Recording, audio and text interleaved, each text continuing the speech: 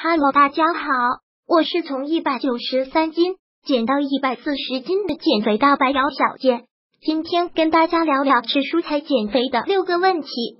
在减肥界，蔬菜应该是仅次于水这种真零卡食物的吃不胖的存在。总感觉随便吃都没事，事实上，因为吃错蔬菜带来的问题还是挺多的。吃胖了，吃便秘了，吃成满脸菜色。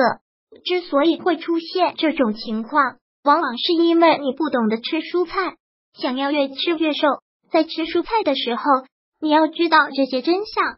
真相一：三百五百克，大多数蔬菜的热量比较低，而且富含膳食纤维和抗氧化剂、微量矿物质和维生素，可以帮助我们增强身体的免疫力，让我们的身体更健康。中国居民膳食指南二零一六版建议。保证每天摄入三百到五百克蔬菜，深色蔬菜应占一二。减肥的话，每天三百五百克的蔬菜是最低标准。如果食欲特别好的话，可以吃一斤以上。多吃绿叶紫菜，多吃木耳、香菇等。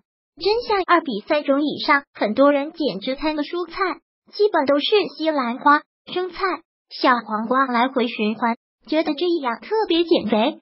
但是这样的做法可以说是为了一颗菜放弃了整片菜地。不同蔬菜的营养是不一样的，比如胡萝卜的类胡萝卜素很丰富，可以抗氧化、免疫调节等。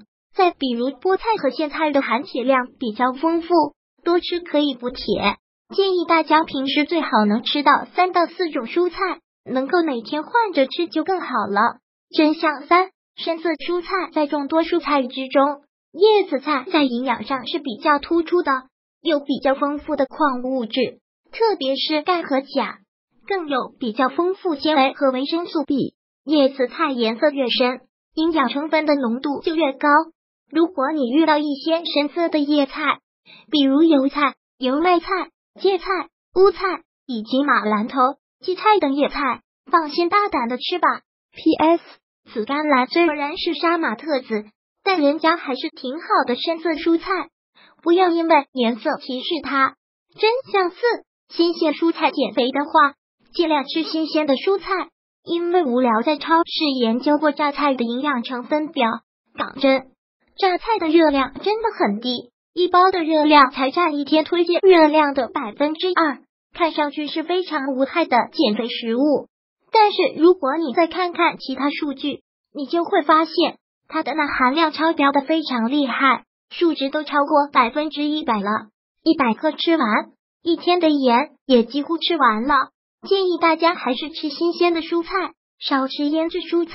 真相五：少油煮菜，无油无盐的生菜沙拉特别减肥。但是很多减肥的小伙伴可能无法下咽，它最大的问题就是难吃，想吃草。